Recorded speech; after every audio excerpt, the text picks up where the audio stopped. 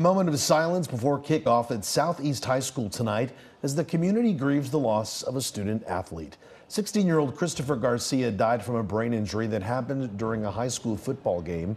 According to a GoFundMe set up for the family, Garcia is remembered for his enthusiasm on and off the field. The school has counselors on hand to help students process the sudden loss. Firefighters are getting some high powered help in this brutal heat. The world's largest firefighting helicopters are battling brush fires in SoCal. They've already dropped over a million gallons on nearly 100 wildfires this year, and peak wildfire season has not even begun. Mm. Local fire officials are hoping the helitankers will make a permanent home in SoCal.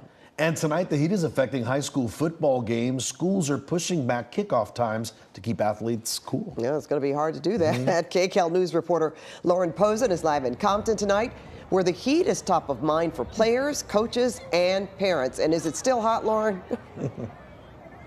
Well, well, Pat, I feel really bad right now because it's not bad at all. It's actually, uh, dare good. I say, a little bit chilly. We got a nice breeze going on, so it's Ooh. great news, especially for our players here. Right now, it's halftime. Uh, the home team here, Dominguez High School, they're at uh, 14 to zero against Hawthorne. And you know, the heat though. Earlier today, we were in triple digits here, and so that definitely played a factor and made this game go on 30 minutes late.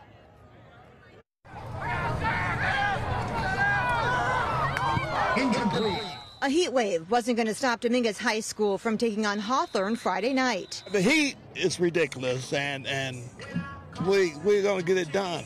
We are going to get it done. You know. So the main concern was health for the kids, that they be hydrated, and you know we got with this heat.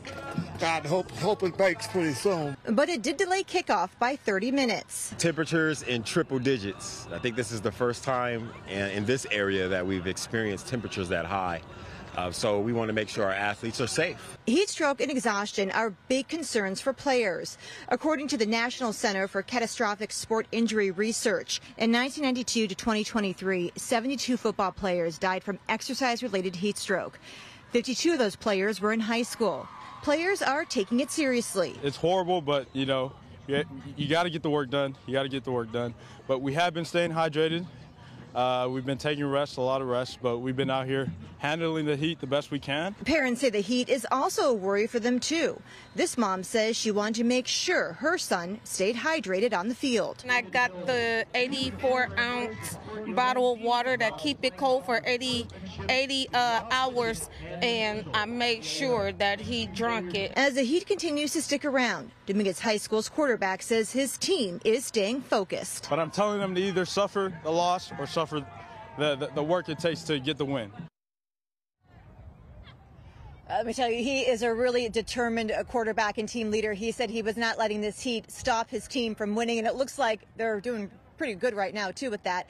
The principal telling us tonight that they have a medic on uh, staff here, which is standard, along with a nurse practitioner on standby in case anyone needs uh, help. And, of course, lots of water and fluids to make sure everyone stays hydrated. Pat and Juan, we'll send it back to you. Okay, Lauren, so glad it's cooled down a bit out there.